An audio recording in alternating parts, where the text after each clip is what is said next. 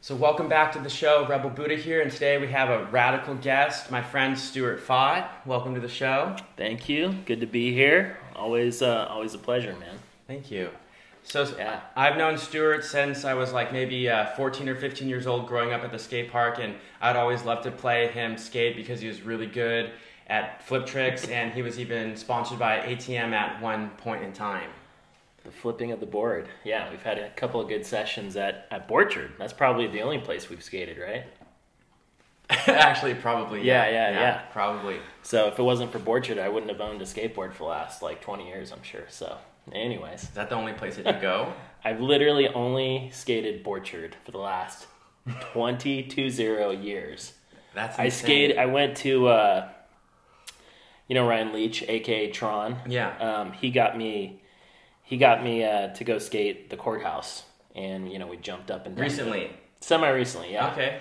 And we jumped up and down the stage, and it was uh, it was a good time. But yeah, You went up the stage so I jumped up the stage. Just an ollie. Just a just boosted a little ollie. Okay. Did you guys skate there? You guys probably skated that a lot. Like I back in the day. when I went there, I would look at the stage and I didn't understand how people went up the thing. Yeah. I didn't understand how you could how you could go fakie up it or something or nollie. It didn't even make sense. Gotcha. Yeah, I mean, before it got crazy, like chipped out, that was a fun. That was a fun. Did you go like- back there in the day, like in the nineties? Oh yeah, that was like uh, the weekend spot. So we we skated that a lot. Yeah, like pre Borchard skate park era. Pre Borchard, before Yeah. Okay. Yeah, yeah, yeah. So before Borchard, before the actual skate park, we would just skate the big three uh, at Borchard, and then we would skate NPI, and then on the weekend we would hit up like the courthouse and like any other spot that we could try to find from the girl videos. You know. So that was it. There was board there was ledges, the two ledges at Newbury High with the really rounded that sucked. Yes. And then the big three, and then did you ever like go explore like LA besides yeah, that? yeah. L.A., the Valley, we yeah we we hit uh, every spot we could, but mainly like the courthouse. That was like the go-to. And you ever Yeah. see like all the dudes there, like all the girl and chocolate guys? Um, I'm trying to think. I definitely yeah. Actually, R.I.P. Gabriel Rodriguez. So I met him one time, and he hooked me and my friends up with some some like gear. Gave us some trucks. Gave us some uh, some some shoes, and actually he was with uh, one of my favorite skaters of all time, Joey Suriel. Do you remember that guy? City Stars. City Stars. Switch tail slides, I ride, word the herd.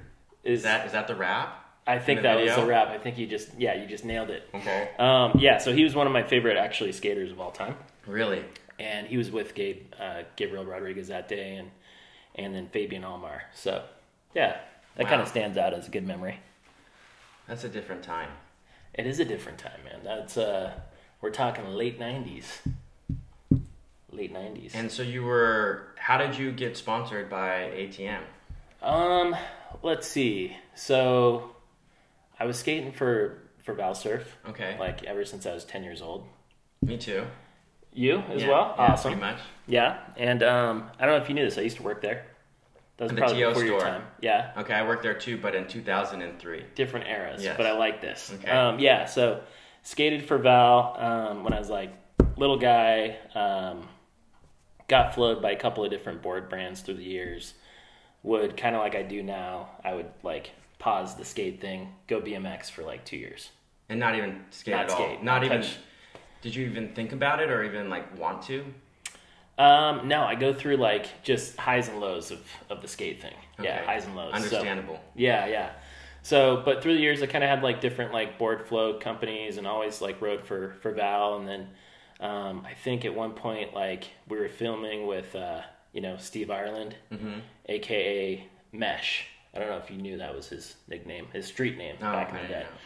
Um, so yeah, we film, filmed a ton with him, and, and he was actually really great about filming us. And then he would make these videos, and then I think I sent off a bunch of copies, and um, ATM was like one of the companies that gave me the gave me the green You light. sent them out to everywhere.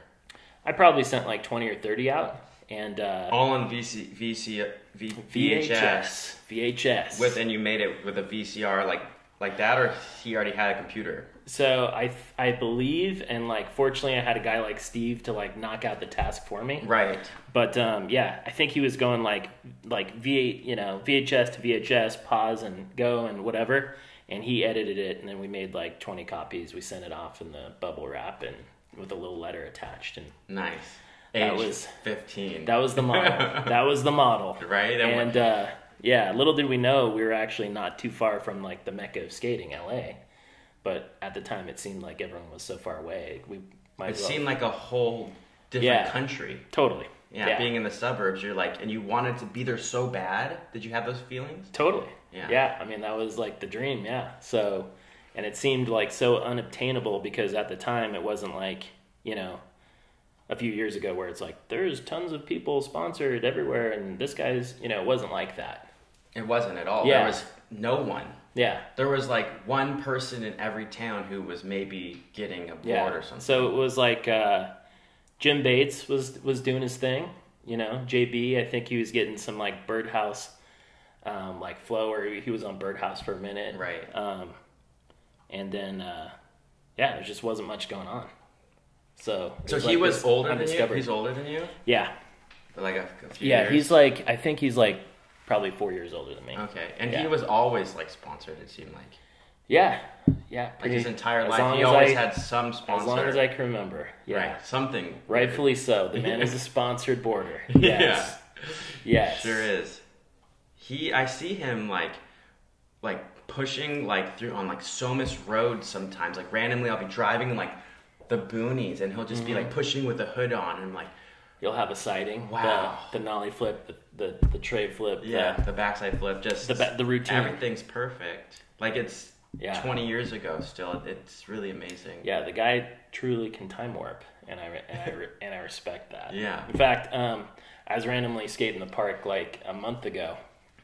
JB was, uh, you know, he's jumping down the the bank, Yeah, doing as usual. doing, you know, going through it. I'm firing off the the go tos, and I was like, Jim, I'm gonna need to request a one foot. I need an aggressive one foot right I now. never seen him do that before. I, I had neither, but I knew he had it in him, obviously, Okay, and he hit me with it, and it was solid. he did it first try. First try, just one foot the bank, no biggie. Like, I don't know how old he is, 40 something. Yeah. Like, boom, no biggie. So, I- I don't that's think JB for you. Ever done an ollie north in my life? Really? Have you ever done that? Uh, yeah, I mean, in the early days, it's like, it was all about uh, slicing off the grip tape. Did you know this? No, So I don't know about this. So on the front of the board, okay, Okay. we're talking early '90s here, like early Stuart Faught skate guy. Um, you'd actually take a knife and slice off the top part of the grip on Okay. the nose to facilitate the one foots. And so we would, yeah, we'd That was get a thing. aggressive. That was a thing. The only person I really seen do it was like Tom Penny and uh, Jamie Thomas would do them, Yeah, and that's it really. yeah, one foots, one foot tails. If you want to get real Okay, aggressive can with it, that. get a little jump ramp, like one foot, and then grab the tail. See, I was always afraid that I would roll my ankle. Uh, that's that's probably a solid concern. I never like factored that in, but I was yeah, like, I don't know if. I want to do that trick. Like, Yeah, yeah. Yeah, But then later on, instead of one foots, everyone could just do really good kick flips with their leg extended, so the one foot kind of like Mm-hmm. Yeah. fell away. Does that make sense? yeah. Well, it became like overnight. It seemed like all the the tricks I'd learned when I was a kid, they like all of a sudden were not. You did not do them. So no pressure flips, Right. no one foots, uh, no impossible. that Um, came back. Are you familiar with the lawnmowers? with the front foot impossible thing? Front foot I could never do that. You could do it. Yeah, so that's all stuff that um, I had unlocked like age like eleven or twelve or whatever the year was. Yeah. Wow. Could you do the the flamingo trick thing where it wraps around your calf? You know, No, no, No. th- yeah, I never went there. You know, there's there. only like. I guess yeah. I guess I couldn't do those tricks. So there's a few tricks I haven't done. Yeah, I had, I had, for some reason, I had no idea you worked at Val. When, when did you start skating? I started skating in 1998. I was Okay. 10, so 21 years ago, or no longer, something like Okay. that. But I don't. Yeah. I don't even want to skate at all anymore. You're done? Yeah, I'm done, and it Really? feels so good. Okay. Yeah. Just like you don't own a board anymore. I don't even have a skateboard. Okay. Yeah. Not even taking a breather? No, I just don't want to do it. Okay, so what? Why? Why? because because I really feel like I did every trick I ever wanted to do. Yeah, I filmed every trick I ever wanted to get on film. documented it. Yeah. I learned how to dark slide, front side and back side. Okay, Nollie flip that's it, an aggressive maneuver. Okay, I learned that like a couple years ago. I had to learn the dark slide. Okay. And that was like the hot thing for a second when like Jim Greco was doing them a lot. Okay. Yeah.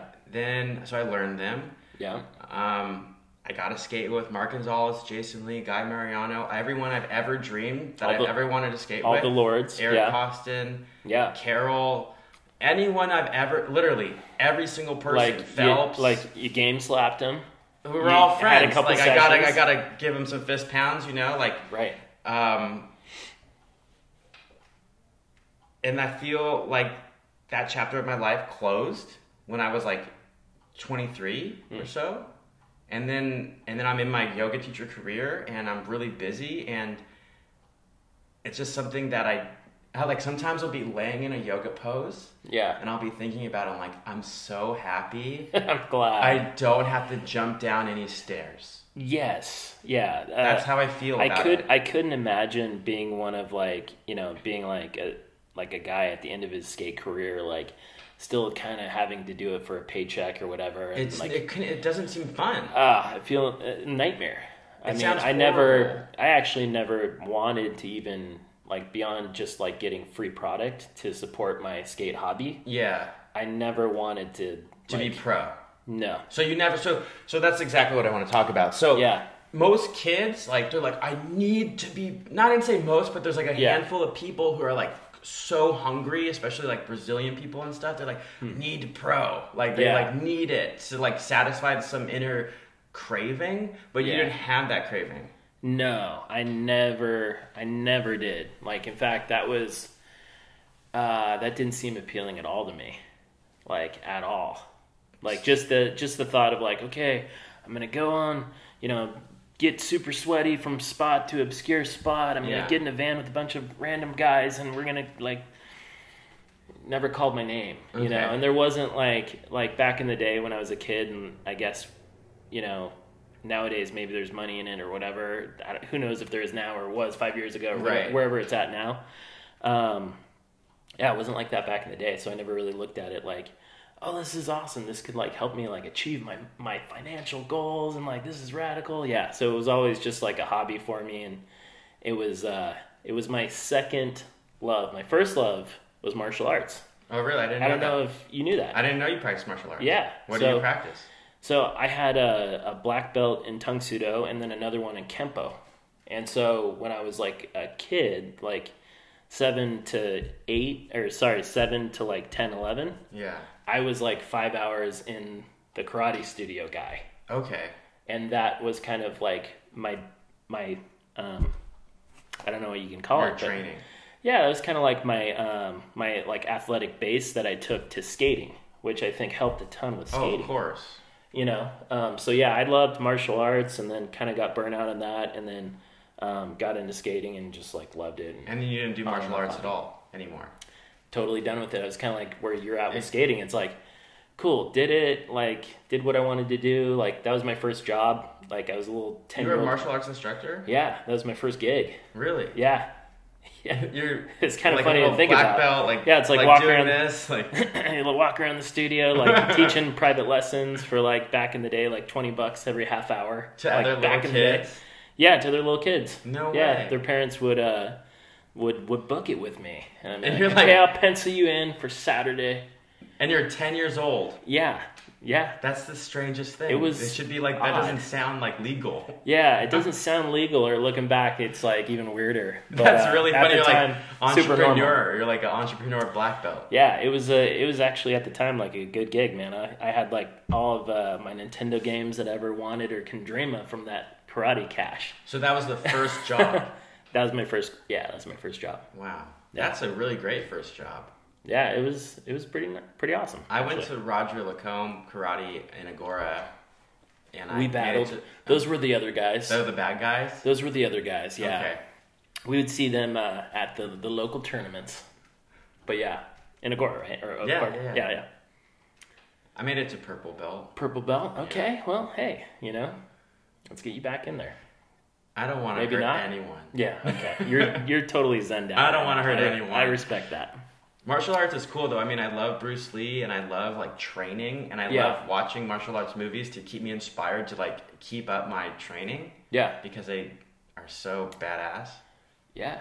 I mean, I love Jet Li and, and Jackie Chan and all them. They're really great. I hear you.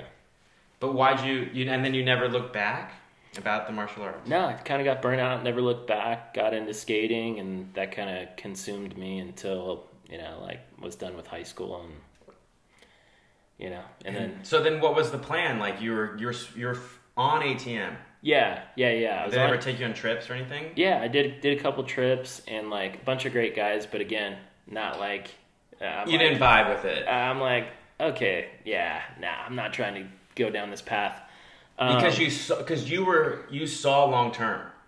yeah, And most Yeah. skaters are just so in the moment. They're like, I want it now, and you saw your future, yeah, it wasn't for me. or you just and you had really good parents. I'm assuming too.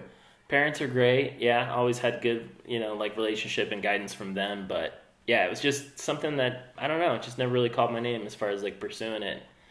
And uh, yeah, I had like a handful of sponsors. I was like um, DC Flow, I like a handful of guy Venture. You were a venture guy too, right? No, I never got. I never got really trucks. Okay. Um, but uh, but yeah, I I decided to like pack pack my bags. I ended up moving to Brazil and uh, quit the sponsors. I did the the whole mission thing for my church, so it was just like, I mean, talk about like a Zen moment. Just like no worldly crap. Like that was kind of like my Buddha.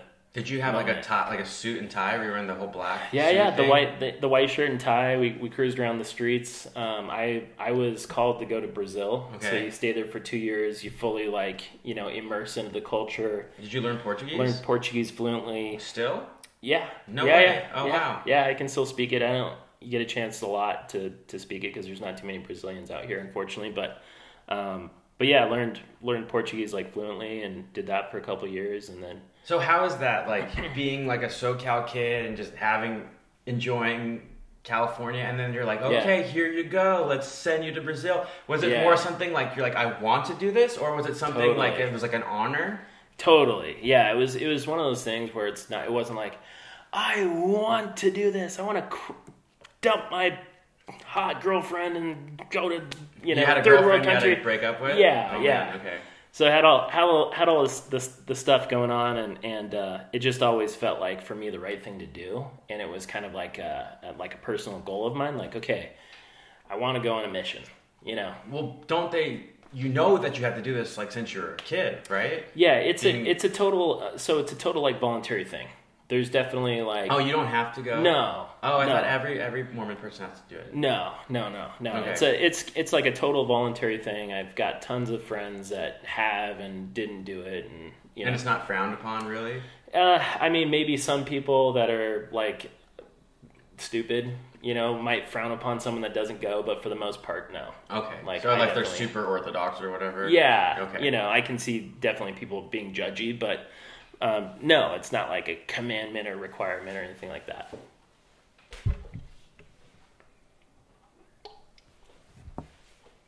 There it Okay. is. Still going. Cool. So then you went to Brazil. Yeah. And you had and you learned a lot about the world. Like was that the first time you left the states? Yeah, that was the first first time out of the country, and it was crazy, man. Have you ever been down in Brazil? I haven't been to Brazil, but I've been to Peru. Okay, yeah, it's uh, I mean, third like third world country is just like it's a different thing, and we weren't like in the little nice parts, you know. You weren't in like Rio. No, no, I was in a place called Belo Horizonte, and it's uh, you know, I was in different parts of of that, and some, you know, some areas were like super urban, like downtown LA, living in a skyscraper, and then some parts were like super country, like literally dirt roads, like you know, and like dirt floors. And they just drop you off at and then you're like they're like go or you're like Yeah. with other kids. Yeah, so you yeah, so you're like you've got like your um, your geographic. They call it a mission. So you've got like your mission, and then you've got like I don't know. I think there's like three or four hundred, like you know, guys. So there's that many people at like a Yeah. at a mission. Yeah, And they yeah. do all your laundry for you and stuff like that. Um, no, we most of them, like most of the time, we just hire like a, a native to do the laundry for like pennies on the dollar. Okay. So- and they come and pick up your clothes awesome. and do it. Yeah, Interesting. yeah, and they at the time they didn't have any like washing machines either. We're talking like So this is pretty much you pretty much lived in like India conditions for like Yeah. two years. for the most part, yeah, Okay. which was a crazy experience because when I come back, it's like, oh my gosh, totally different mindset for life. Like, I understand what's out there and like why people come to Here, our yeah. country. Like, Right. People that like bitch about our country, like nine times out of ten, I'm guessing they They've never left. left, and especially haven't lived. You know, so um, yeah, I came back, especially to where we live, like such a nice area. I think you it's the nicest area in the entire world. strong agreement. I You know, think it's- that's I think that's why it's true. It's yeah. I mean, think about it. Like we're stone's throw from LA. We've got You can go to Malibu. got the breezes, but I mean, it's like it's awesome. So yeah, I love where we live and like just having that perspective of the third world country. I think like, it's really changed me. It important for me. every teenager to to go to a third world country on their own. Total agreement. And to see that it's not just Hollywood. Yeah. Like the illusions of the world. I mean, this is just one big illusion. I mean, you remember kids like back in the day, like you know, it's probably are you Agoura or Oak Park? I forget. I'm Oak Park. Oak Park guy. Same thing though. Yeah, it's like you know, kids from you know NP would be like, I can't wait to have them get out of this town, man. This place sucks. It's like, then of course they quickly realize like, no, it's actually very desirable and it's the best part in the country actually. Well, it, when you're a kid, when you're a kid, I remember feeling so stuck here or something. Like the feeling was like I want to go to LA like so bad. I don't know why, but like you want to go to like I wish I was in Venice or Santa Monica or LA. And then like you go there with all your friends, drive there every single day. Yeah, And then now that I don't have to go there, I'm like, oh, Yeah. I don't have to go there. Yeah. To, or today, I mean, yesterday I did for work, but okay, for teaching yoga, but yeah, yeah. I try to avoid the entire West Side. you do. It's like I'm not trying to go there. What about if you had like a, a big project? I mean, I'll? I'll go, but it's just like try to avoid it. You know what I mean? I, I but, uh, totally understand. It's that's almost Yeah. like um, there's like a border at like Las Virgenes. Absolutely. Yeah. Yeah. It's a whole Yeah. other world. This is the fun zone from like yeah, I would, I would agree. Las Virgenes To Wendy, to Wendy. yeah, that's it. and, like and everyone everyone gets it that lives here. So yeah, total totally agree. So like, say you're like working somewhere and you come back over the hill into Calabasas, you go like, ah, right? yeah. Every time I'm like, oh, thank goodness I'm home. Yeah, dude, I I absolutely get it. So yeah, I, I love living around here. I never thought that I would like end up buying a house in Thousand Oaks or this area. I always thought I would Mm-hmm. Yeah. move. Like as like when I was a kid, I thought I'd live in New York City or like LA or something. But Yeah. I'm like, no, yeah, not at all. fun to visit. You know, like, Fun I, to like we were visit. talking about. I was in New York last week for like a little conference thing, and it. I love going. I try to go every year, but it's like, yeah, I love love living here. Yeah, Because there's something that makes me relaxed. Yeah, it's it's peaceful. Exactly. It's very peaceful. But then you need to get your balance of urbanness every- once in a while. You do. It's fun to get out there and switch it up. Yeah, So, but uh, so after Brazil, you were there for two years, yeah, and then you came back and you were like 21 or 20. came back. Yeah, twenty one. Yep. And then you're like, now what? Every Kinda- fresh start. Yeah, had my now what moment, and then uh, had a bunch of friends um, that were going to school out in Utah, and so I kind of like, I was just like, all right. I was never like an academic guy. I actually don't really believe in like traditional education. You know, I don't buy into the whole like, if you're gonna be successful in life, you have to have a piece of paper that says that you know your social studies. Oh, you right, know? Like. I just I, I never I wasn't raised that way. I don't like buy into it. So academics were never really my thing. I think in high school I probably averaged like D minus, D plus, C minus type of vibe. Just getting by. Me too. Just getting vibe. It's just like let me walk down the freaking graduation little way and get it done. Um, but yeah, so anyways, ended up like going to Utah, did the school thing. Um, kind of was a little bit more serious about grades, and uh, you know, just like did that and went to University of Utah and you know had a fun time up there, but no skating at all. You didn't Yeah. skate, touch a Yeah, board. no, no skating. Just I- I- focused? yeah, I'd- I had a board back in Newbury Park, and that's probably when when you those years probably when you, You were in your skating a lot. twenties Yeah, when I saw you. yeah, yeah, Okay. yeah. So that was probably when you were doing your thing. I was like skate rat guy, and I would come back into town every now and then and skate. I remember I'd see you. I'm like, how do you? I'd be like one of those kids. Like, how do you not skate when you're not when you're not yeah, all year round? yeah, you didn't get. I didn't understand that. How do you not? How do you live without this? You're only Yeah. like a several percent skater, not a hundred percent Yes, yeah, part extreme part time. skater. very very part time, but I, I like it that way because it's like even when you're relearning the most simple tricks, it's still like super fun. it makes it more magical. It makes it more magical for sure. So then, what were you studying at Yeah. in Utah? Um, so that was like uh, kind of a, an unfortunate thing because I never really found a major that I was into, and so I just ended up doing communications, which is totally stupid. Communi- I always get Like so confused dumb, when people say that. dumb major. I only chose it because I saw like the path to graduation as a shorter path, um, but ended up being super boring. And uh, yeah, do not recommend it. So when people say that, I'm like, I'm into communications. I go, what do you mean? You text people? Yeah, it's like it it's mean? it's just like a generic degree. It's like the piece of paper, you know. okay. So it doesn't Yeah. help you doing PR work or anything like that. No, not really. No, not like the the handful of courses that I took. I think there's like an actual PR route, which maybe does, but yeah, what I was doing now. So then, so you So- finish school, like you're like 25 or something. Yeah. 25, and Yeah, you, like 25, 26. and you yeah. come back to California, Mhm. and then you're just working for someone, or Yeah, so I actually stayed out there. Um, yeah, so I was out there for like a handful, like 10 years in Utah. okay. Yeah, How old are you right now? um, 38. Okay. Yeah, yeah. So I was out there for a long time, and you know, um, ended up like, like I always thought I was going to do the real estate thing.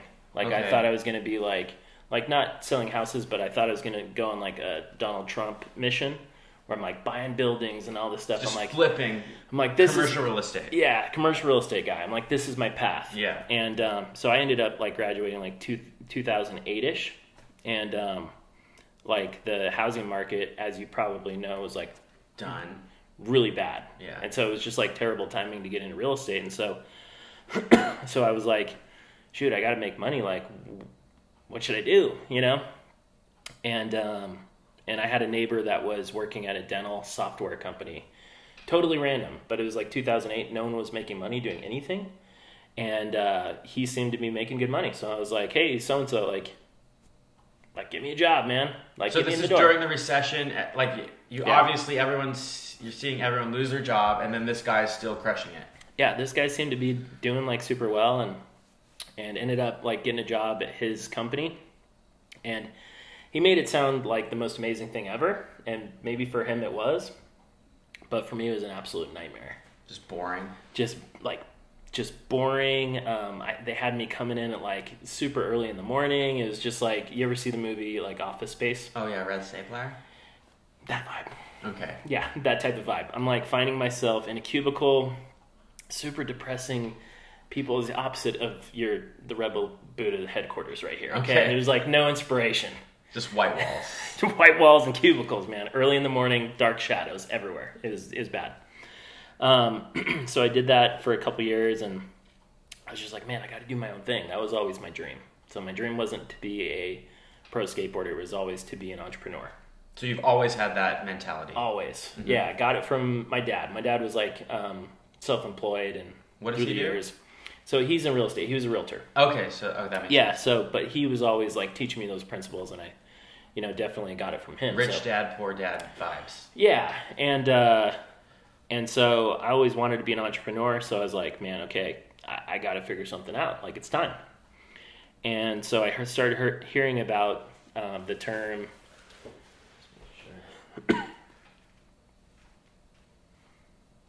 no, it stopped. Got cut out. Yeah, let's make let's make sure. Uh, darn.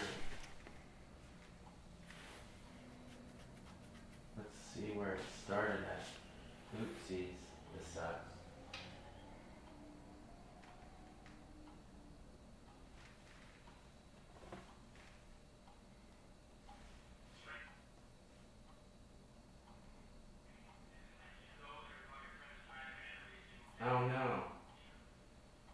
Cut off a while ago. At 23 minutes. Hmm. Let's see where we talked about. Darn it. We could even just put it as a podcast on this if we really needed to with just no audio, but Oh, no, like camera. yeah, but Yeah, that's fine. but let's just see where we're at. Cool. We could just have a, a black spot in the middle. I like that. It could be abstract. I like that. Because that. Rebel Buddha doesn't have to Yeah. be perfect. There's, dude. There's no rules. I know. We'll just have the black section. Yes. Okay, there we go. That makes sense. All right. Actually, that actually works. Okay, Okay. we'll go with it. okay. so where were we? I Oh, yeah, think so entrepreneur. I think it- yeah, yeah. So, the job, hated it. Working for the man, totally depressing. Had to do something, Mm-hmm. and uh, started looking around for opportunities. I started hearing uh, the term SEO. SEO. Are you familiar with the term? No, I don't know. Yeah. So it means search engine optimization. So online marketing. So if you have the business popping up high on Google, if someone does a search. Okay, so like the click click stuff. Yeah. Started hearing about that and I was like, man, this is kind of like a cool thing. This seemed like magical to me at the time, you know. So, What year is this? So this is like 2009. Okay, so this is before like e-commerce went yeah. to the roof. Yeah. So this was like right before that whole thing went off. And so I was like, huh, this is kind of cool. I wonder if I can maybe start like a company and help people with their online marketing doing SEO, coming up high on Google. And so I, uh, while I was still working the depressing job, I just like, I was like, screw it. I just started my company. While you were working at the other job.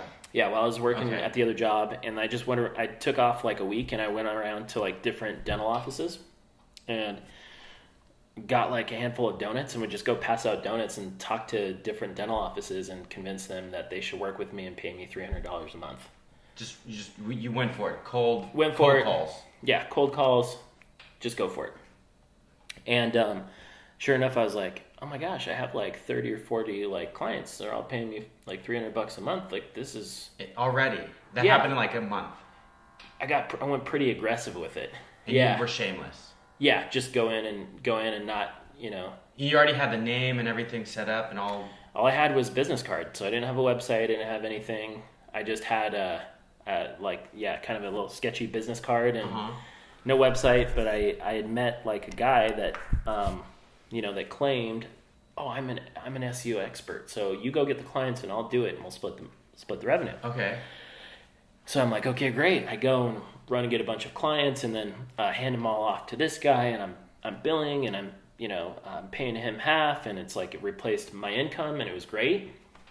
But eventually, all of them canceled because this other guy really was really sucked at doing what he said he was awesome at doing. Okay. So you had a con man, Yeah, yeah. So he just yeah he just kind of sucked. but he was your friend, or you just met him He was just a just a random guy I was connected with. Okay. And um, but I that kind of like got my wheels turning. I was like, you know, I I, I can actually do something here and support myself. This is kind of cool. I like this. Or you were you kind of pissed off, or you were you you were sparked? I was kind of I was sparked. Okay. Yeah, I was sparked, and it wasn't easy like getting going or anything because I didn't have like any mentors. Like anyone listening, it's like that's the most important thing. And there Get was it- no YouTube people Get it. talking about this stuff yet. Yeah. Or anything like this. There really wasn't. Okay. And so I was kind of just out throwing mud on the wall and like some stuff was sticking and I was just stoked to be like working for myself.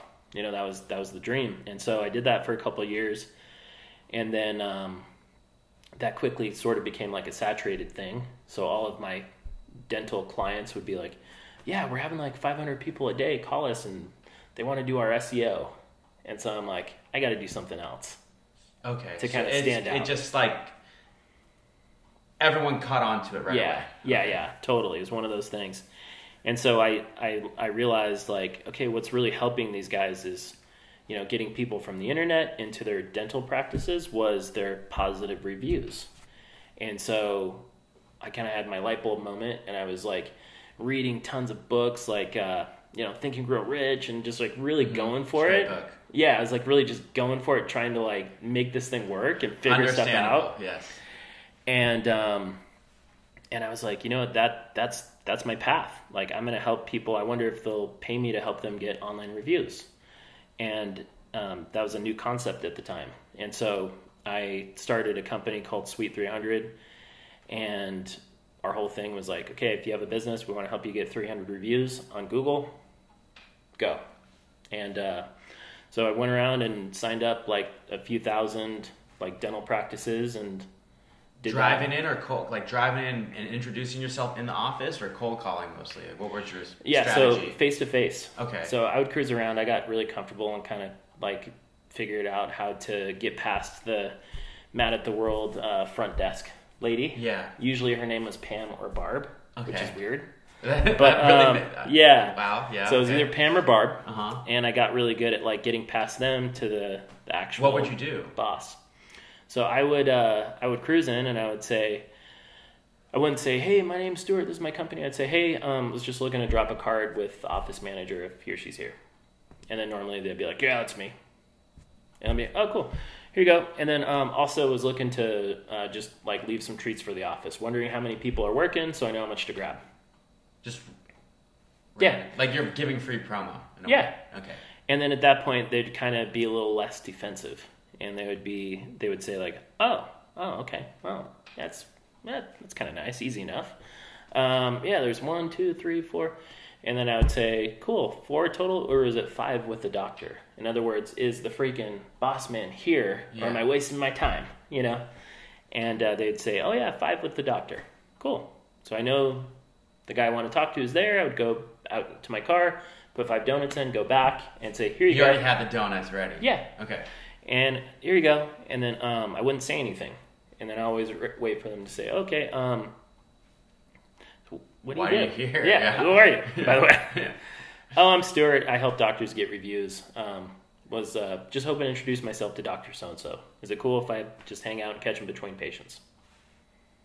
So and you then, were you had no fear, no fear of rejection. No, no. That's so important. That's like the number yeah. one thing. Yeah. And how many times, like one out of ten, did it work? Yeah. So like fifteen, going to fifteen offices, uh-huh. and I would talk to five uh, decision makers, and then usually uh, one or two of them would sign on with me. So you were getting like a ten percent, maybe eight percent sign on yeah. rate. Yeah. Which is pretty good. Yeah. And then you know once I do that for a little while, then all of a sudden my schedule is is totally filled and I'm not passing out donuts anymore. I'm just going to my appointments. Okay. So how long did you do that for? Yeah. So I did that for a long time. I mean, I did years? that years. Yeah. years and then um, kept my operation like super lean and, you know, didn't have an office. I actually created software with uh, uh, like software guys down in Costa Rica.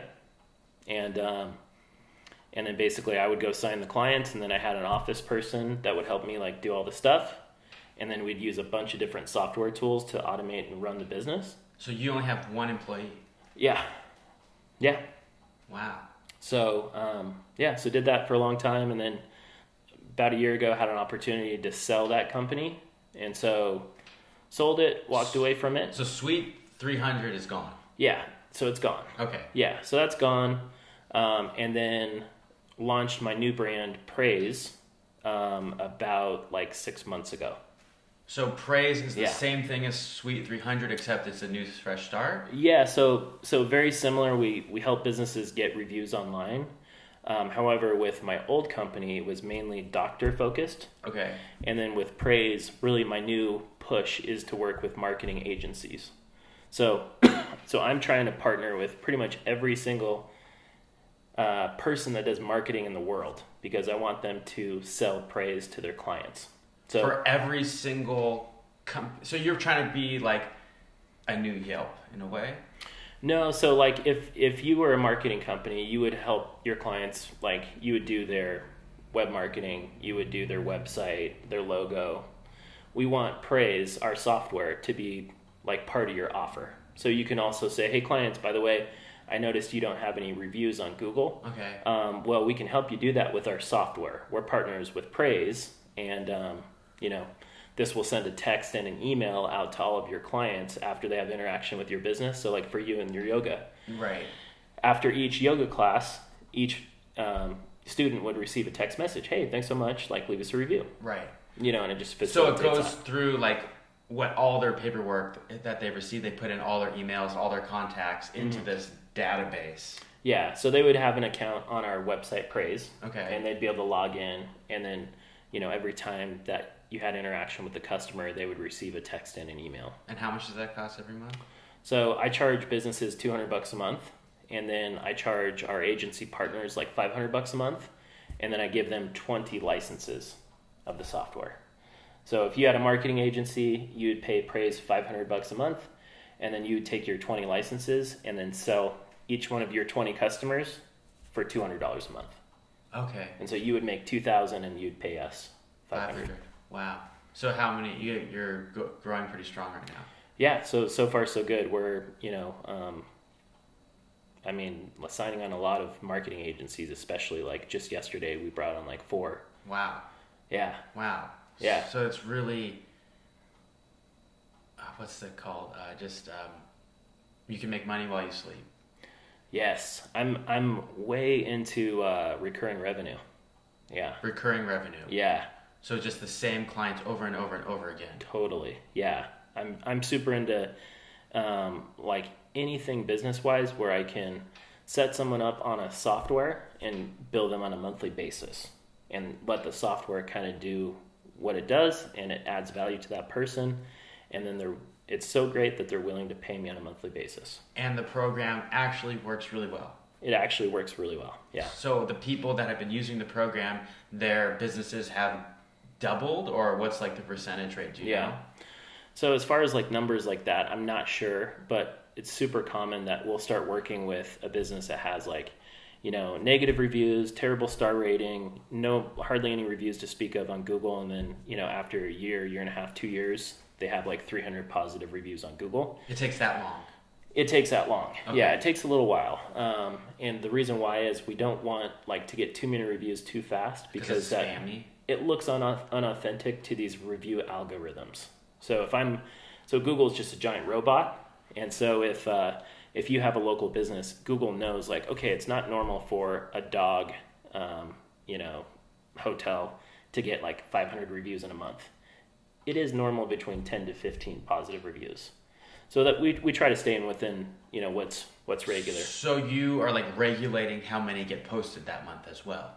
Yeah, yeah, and we encourage like a certain amount of review invites to go off on a monthly basis um, to ensure that our people get like ten to fifteen. So you've created your own algorithm as well then. I guess you could say that. Yeah, Wow, that's interesting. yeah, yeah. I guess you could say that. It's kind of ironic because I'm like the least tech guy in America.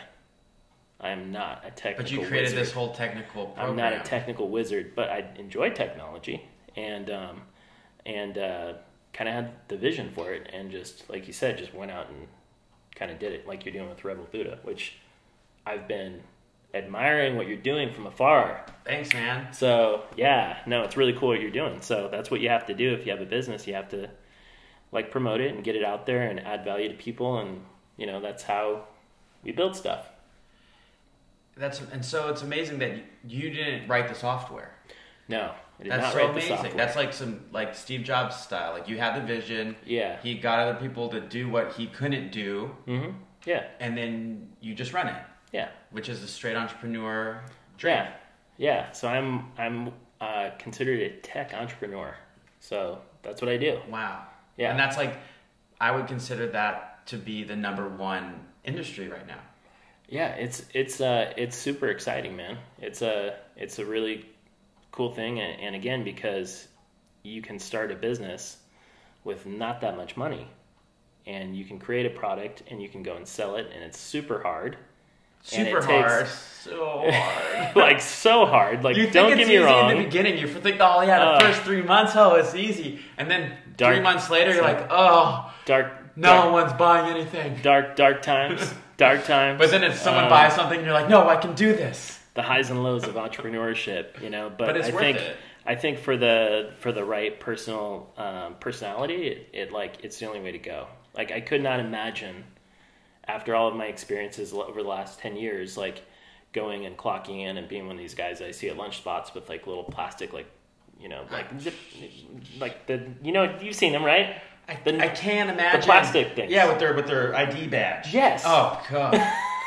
I'm so thankful that I don't have to do anything like that. Yeah, yeah, and I did that. That's like that was like that one job. first and it Was, job. it was not fun. Not And I think right now that there is more opportunity to be an entrepreneur and to do whatever you want to do, but it all relies on your hard work ethic and how much time you want to put into your brand, into your job, into your business. But a lot of people just don't want to put in the time because Mhm. they have addiction problems to TV and media. Yeah, and it's like people, you know, they're not willing to like. It takes a lot of like crazy hard work, and they're not willing to do it. And uh, I think one of the advantages when I got started was I didn't realize what I was doing. No, I, was no, starting no. a software company without even realizing that's what, really what I was doing. Do you have an app too? Um, what do you mean, like an app on your phone? Yeah. No, we don't have an app on. Our, we just people just log in. Okay. Yeah, go Is to that site. anything you don't need an app for it or anything? No, no. Unnecessary. yeah, That's Yeah. cool. So do you feel that like I feel like skateboarders they they all have this in inner drive that a lot of I guess regular people they don't like have this this drive of being that it's okay to be rejected and falling and getting hurt and getting back up. Do you feel that like skateboarding has allowed you to be a more successful entrepreneur if you didn't have that training as a Mhm. skater? I think so for sure. I mean, in order to become like good at skating, you have to go through years of falling, and you have to become really good at falling. Like falling is an art form. You know what I'm talking about. Oh, yeah. Like every skate skater does. And uh, yeah, you just have to like. Um, I think skaters make amazing entrepreneurs because they're independent. It's not like a team thing, you know, and it you have to be sort of a self starter to like do your own business. So yeah, I see the pattern over and over and over again with different guys that have like uh, a background in skating. It's cool.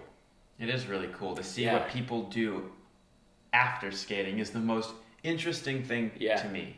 Yeah, Not not like I don't think skaters are interesting, but skaters don't become interesting until like when they're done with it. yeah. And I'm like, oh, now I don't think you're done though. Oh, I'm totally done. I think you're totally dude, done. you're just you're just like going through like a mini retirement. okay. You know, you're doing a mini retirement thing, which is great. Thanks. So yeah, Yeah, it's just it's well when they're just when they become older and they like have different outlets and they grow up, they become Yeah. like the most interesting people. like only there's only a certain amount of time for like certain hobbies, though, right? There is. There's Yeah. only a certain time your body can do certain things. Yeah, unless you're Jim Bates, of course, and then it's Maybe if you just keep doing it and you like don't take a break and you just keep jumping down stuff, Yeah, like you- maybe your body becomes immune. yeah, if you Jim Bates it and it's just a permanent thing, then yeah, definitely.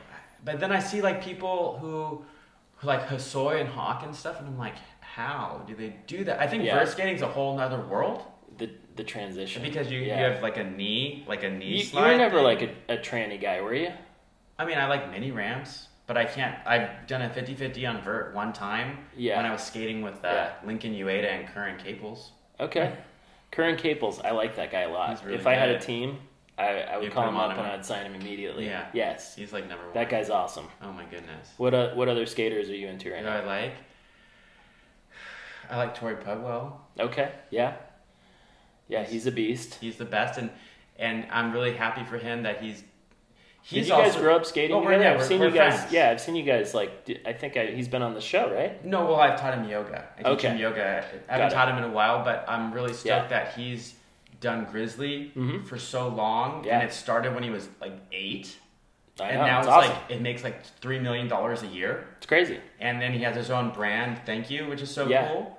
So I think everyone should who doesn't have their own brand Yeah. should have their own brand and start making one because in 2022 2025 if you don't have your own personal brand you have nothing so you have to prepare for the future Amen. yeah Yeah. No, I totally agree. Like, like uh, personal branding, whether you want to or not. Are you a LinkedIn guy, by the way? i, I just actually started it Okay. because gary vee told me to That was like I mentioned. I saw Gary last week in New York, and Right. that was all he was talking about. I don't understand. LinkedIn, Can you LinkedIn, tell LinkedIn. me about LinkedIn? Because I don't know Can. how it will help me and So- my company. So LinkedIn just uh, it's just a way to like show up on a lot of different areas on LinkedIn. So if you his advice is wake up in the morning and do a hundred interactions on LinkedIn. So an interaction could be a like, it could be a comment, Okay. it could be a post, and you can jam through that in like you know thirty to sixty minutes, and um, you know like get like interact with different people that you that you want to get involved with People you've never met. um, or people people that you know, Okay. um, or people that you'd like to know, but just people like in your space and do thoughtful comments and like just participate. And so if you do that, then LinkedIn will reward its users that are most active. And so if you're doing all these comments and stuff, every time I log in, I'm gonna see, oh my gosh, Rebel Buddha is everywhere. You know, They're just like in the feed. yeah, and Gary was saying he's like, you know, so LinkedIn currently is like Facebook uh, was like 2010. 2010, right? It was just a, a lot cheaper to do ads, a lot easier to get exposure, and so And people are looking at it? grown ass dilfs are on that thing like freaking hawks. Which, because they're trying to get new jobs? Like, I don't. I look Like, at it, I'm like, what I- is this? I thing? look at so I look at my guys um, that I know that are like savvy, legit business people, and Yeah. I see them commenting and stuff, and I know what they're doing. They're, just They're just doing they're that doing to Gary Vee. build their self to build their brand or push their product or you know. Um, so yeah, it's not necessarily a hobby thing. It's like they're going on there to get exposure. and work. Yeah, You know, that's what another thing Gary talks about. Gary Vee, he goes, you have to have interaction on Instagram and Facebook. Like there was a while, yeah, or last year, like a year and a half ago, I unfollowed every single person on Instagram hmm. because it was driving me insane. Like I just look at the Yeah. feed and be like, oh, it's so annoying. Like oh, it's so annoying. Yeah. I might have to start following you again. I don't know if I have yet. Okay. Just it's not it's not because I don't like you. It's Okay. because I took this like break. Yeah. For literally a year where I didn't look at any feed it's necessary. and I felt so much less anxiety. Hmm. Like today, I was just looking at the feed, and I like little things will just bug me. I'm like, why am I looking at this? Yeah. Like I, I try not to look at it as much as I can. Yeah. And only post my own stuff. Right. Because I'm like a content creator, not a content um, consumer. consumer. Yeah, yeah, And that's another thing Terence McKenna talks about. I don't know if you know Terence McKenna. He's just like this psychedelic guru guy. He goes, okay, don't be a content consumer, be a content creator. Yeah. There's no time to consume. Just keep making stuff. Yeah. So I'm like, okay, I'm just gonna keep making stuff. yeah, Um, but yeah, yeah. I need to get back on the. It was interesting, like just a few months ago when I launched Praise, I was doing like the content thing, and I found a content guy, and we did some videos, and and I got, um, you know, people noticed it, and people signed up with me, and I made just through money Instagram and Facebook. through uh, yeah so each day i would do a post um, on linkedin facebook and instagram Just one a day.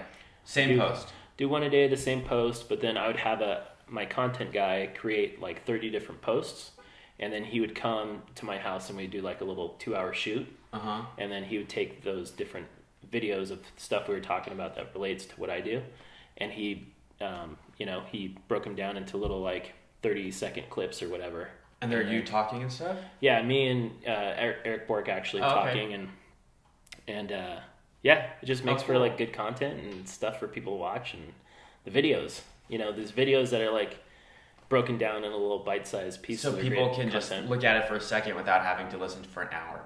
Yeah, yeah, exactly. awesome. And it's like just little things, little you know bits of value that you're, you know, creating for your audience. It gets people to, you know, have reason to follow you and continue to think about you, and then when they're ready, Sign up. They, they pull the trigger. So, Yeah. how many clients do you think you've you've got from Facebook and Instagram over the years? So that was this is a huge like one of the biggest mistakes I've made is I wasn't active on social media. Because you didn't care, or you didn't think it was going to help you. I, didn't care. I kind of went the opposite way. I was like opposite day every day for like ten years. And now you're this, you switched. I'm I'm still doing both right now. Right Okay. now it's just like I I'm just like everything. But I saw a lot of different competitors of mine like going social and all this other stuff, and I thought like, well, if I can get through to the decision maker, then you know, one on one, and that was my sort of So like you my were- secret weapon. You were just trying to work in person. Hmm Okay. Yeah, that's what I did, and that's kind of what I wanted to do for that business at that time. Um, right now, my goal with Praise is to like build something, you know, um, that I can that I can sell like in a couple years. So I want to build it faster, bigger, put it in a box, sell it, move on to the next thing. And then what? What is your next project going to be? Or you got to keep that secret? No, um, I think I'll always do something in software, and then I want to get into real estate. And like, I'm super into real estate, and I love the idea of like fixing stuff up, holding it, and renting it out. Totally. So I mean, that's that's what Robert uh, Kiyosaki says Yeah. is the number one thing because it's non-taxed. yeah, it's just like it, again, it's that residual income Totally. that I mean, Why don't they teach us this in school? Why does no one talk about well, this? they don't they don't know about it because they're teachers. So they Right. did their their social studies, they did their book reports, they did their PE, they stretched it out, Yeah.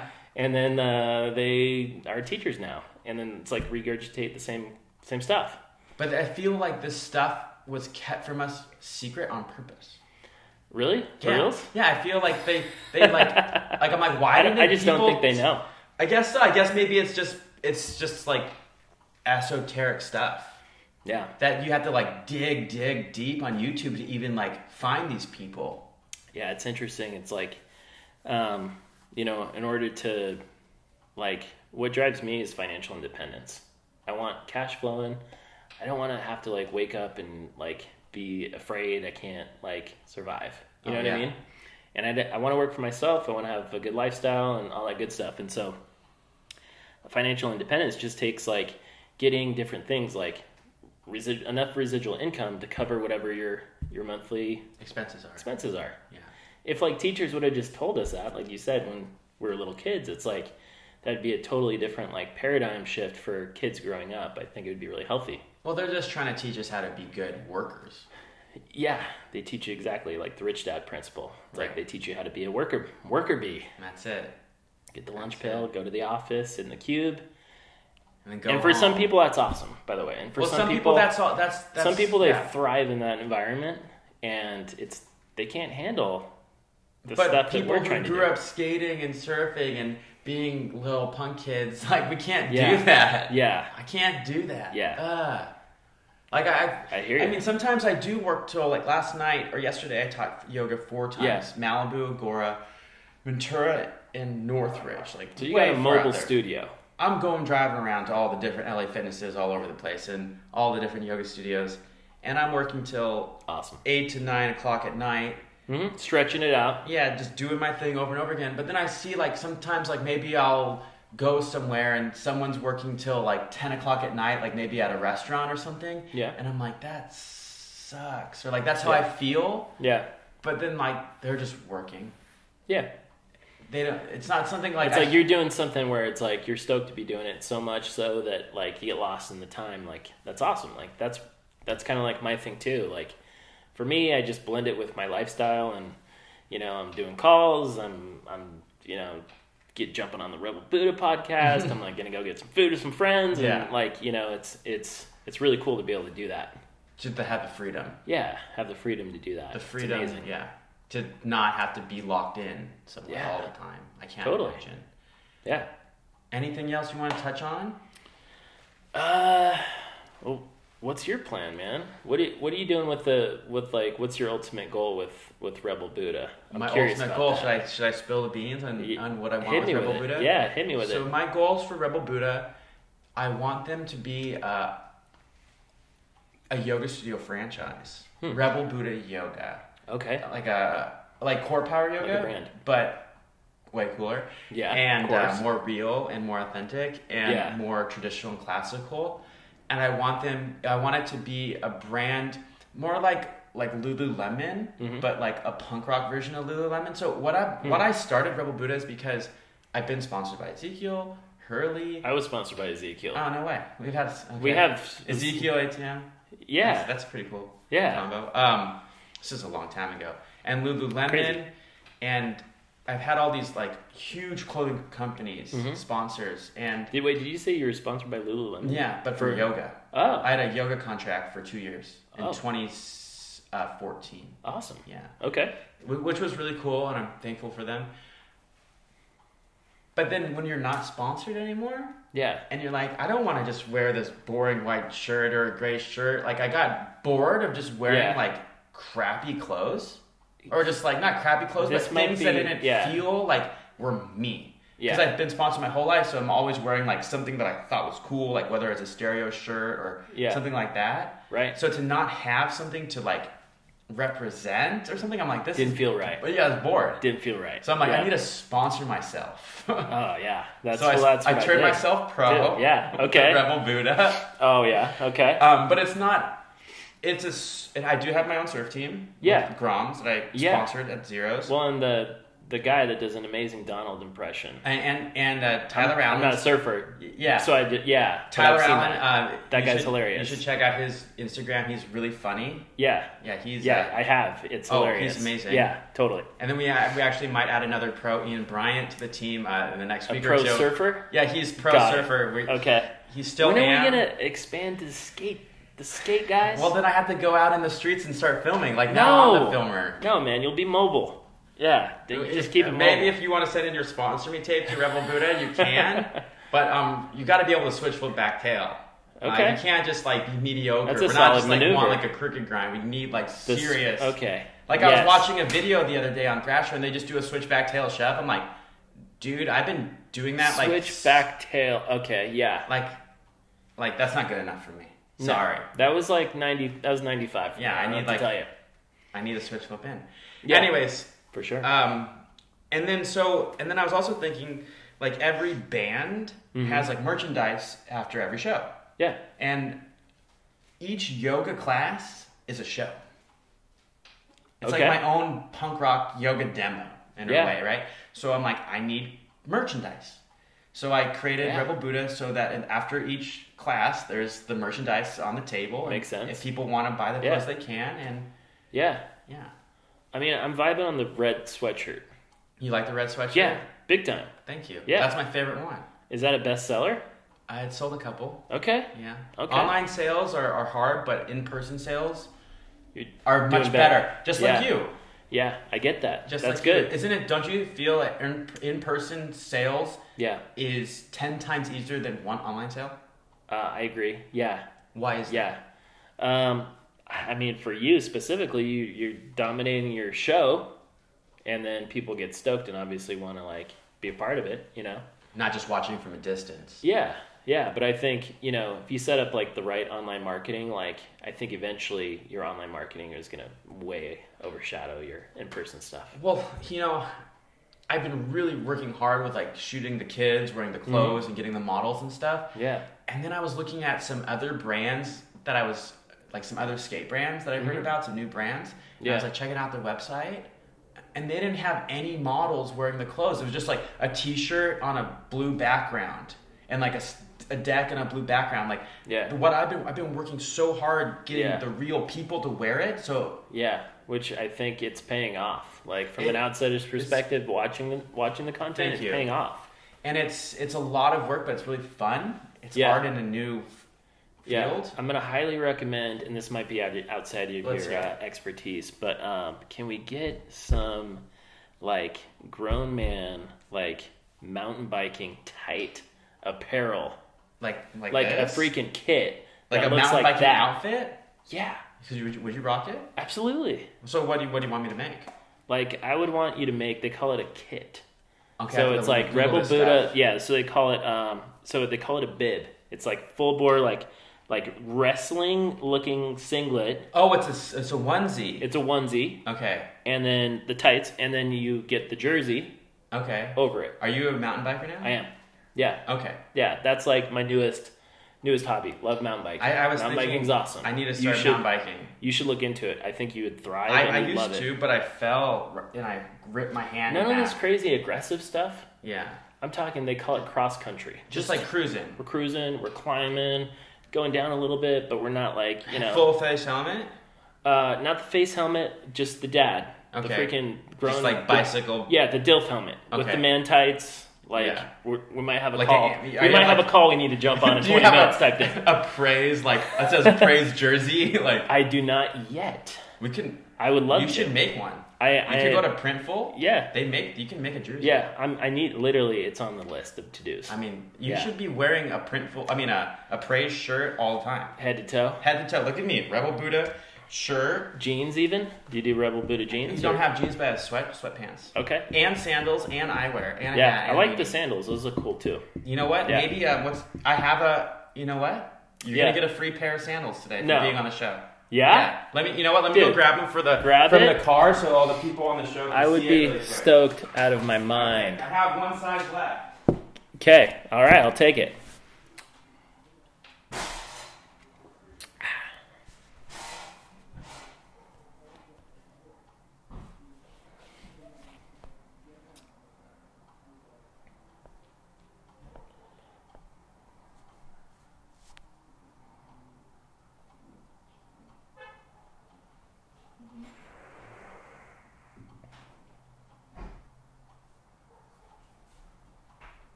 All right.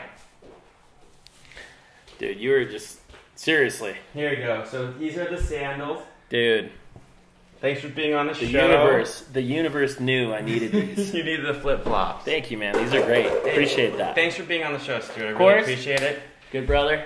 So good to catch you up with you me. and hear Likewise. your story. And Yeah. boom. Boom. All right. Thanks for watching the show, you guys. Episode four complete.